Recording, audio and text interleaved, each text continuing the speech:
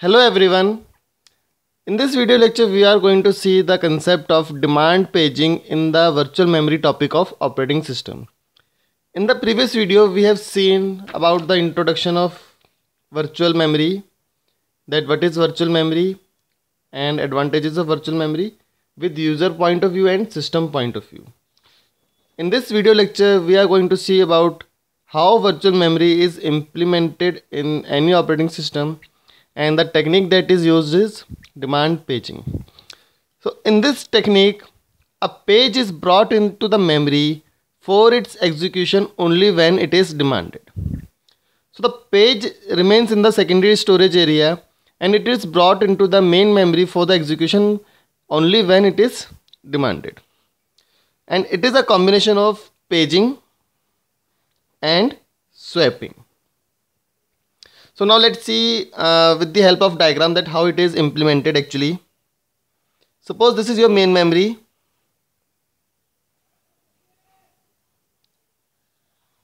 This is the main memory. And the main memory is divided in number of frames. And each frame can hold a page. And the process is divided into number of pages. So this is the main memory and we can have different number of frames in that. So let's just draw some frames.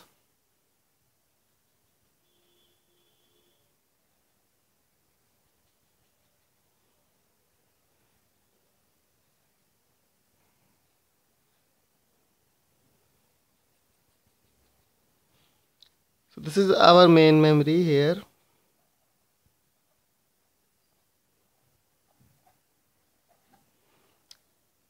and the process remains in the secondary storage area which is the disk in the form of pages.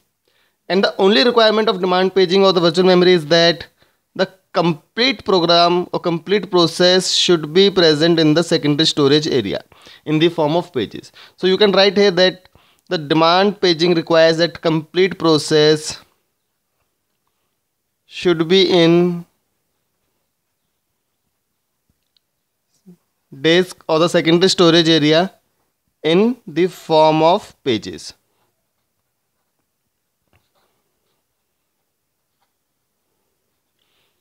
So this is the secondary storage area and suppose we have the pages here.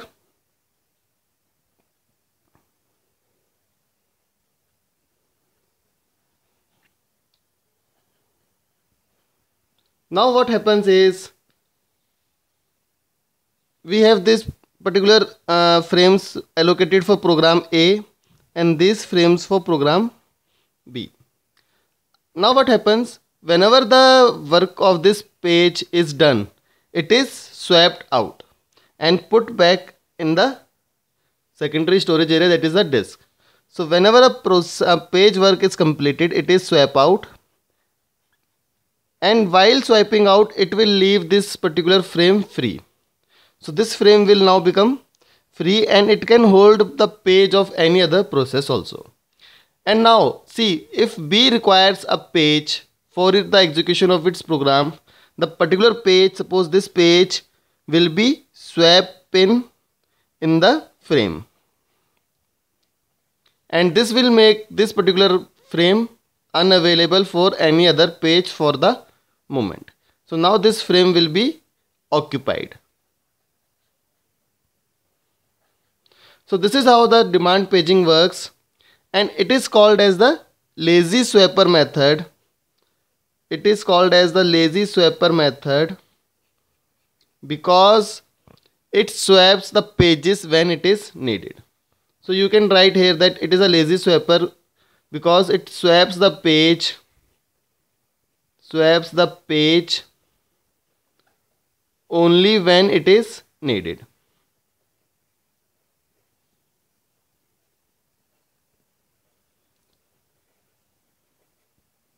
तो एक बार मैं दोबारा आपको इसको बता देता हूँ कि इसमें कैसे काम होता है। सेकेंडरी स्टोरेज एरिया में जो हमारा प्रोसेस है, वो पेजेस की फॉर्म में प्रेजेंट रहता है।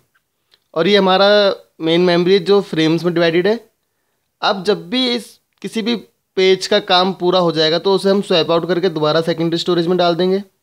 और अगर किसी प्रोसेस के में किसी पेज की ज़रूरत है तो उस पेज को हम स्वैपिंग करके फ्रेम के अंदर एलोकेट कर देंगे। Now, what are the advantages of this technique? So, the first advantage is it reduces the memory requirement. It reduces memory requirement. Second advantage is swap time is also reduced because we are not swiping out and swiping in the entire process. We are swiping out and swiping in the part of the process which is the page so the swap time is also reduced and the third is it it increases the degree of multi-programming. So the main advantage or the best advantage is it increases the degree of multi-programming. Because now many number of processes can run in the main memory at a uh, single point of time. So these are the advantages. Now what is the disadvantage? the biggest disadvantage of using demand paging or the virtual memory technique is the occurrence of page fault. So in this case, there may be a chance that page fault may occur. Now what is page fault? Page fault क्या होता है page fault क्या होता है? Suppose एक process है ए और currently इस प्रोसेस का जो मेन मेमोरी के अंदर एग्जीक्यूशन चल रहा है, उसमें पेज नंबर वन और टू लोडेड हैं। Now process A requires page number three तो पेज नंबर थ्री यहाँ पे प्रेजेंट नहीं है so one page fault will occur at that particular point so what is page fault page fault is when ever there is a requirement of any particular page and that page is not present in the main memory since it is not loaded from the disk into the main memory at that time and that is called as the page fault clear so this is the page fault अब देखिए इस page fault से जो performance है उसको हम major करते हैं so this page fault is use in the measurement of in the performance measurement.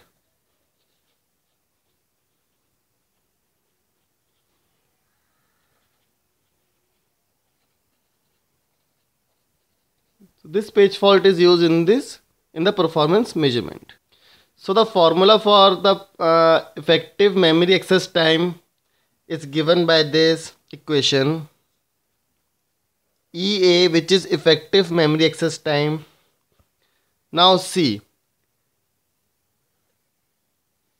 if P denotes the probability of the page fault then the effective memory access time will be P into page fault time.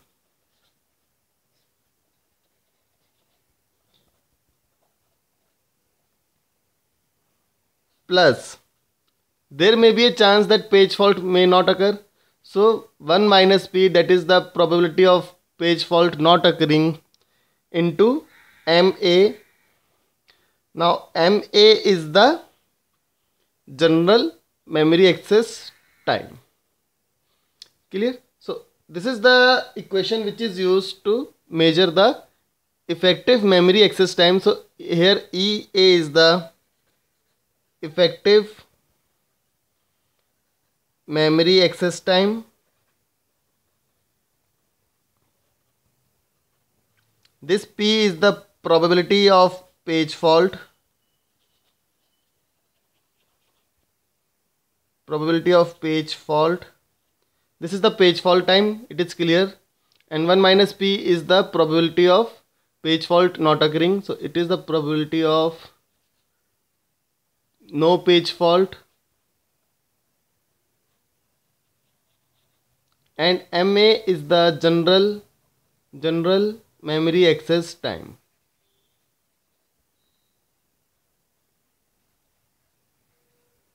So in the coming lectures we will see uh, some numericals based on this particular equation. And this equation is very important because number of numericals are asked in the theory as well as gate exams on this particular equation. So this is about the demand paging that how demand paging works. Swap out, swap in, it is a combination of paging and swapping. The secondary storage contains the entire process in the form of pages and those pages are swapped in and swap out only on the basis of the demand of the process. Then we have seen the advantages and the disadvantage which is the occurrence of page fault. So thank you for watching the video. From the next video onwards we will see different types of page replacement algorithms क्योंकि यहाँ पे क्या हो रहा है कि page को replace किया जा रहा है स्वैप आउट और स्वैप इन से तो डिफरेंट एल्गोरिदम्स हैं पेज के रिप्लेसमेंट के, वो हम नेक्स्ट वीडियो से देखेंगे क्या है। Thank you for watching the video please subscribe to my YouTube channel for more such videos thank you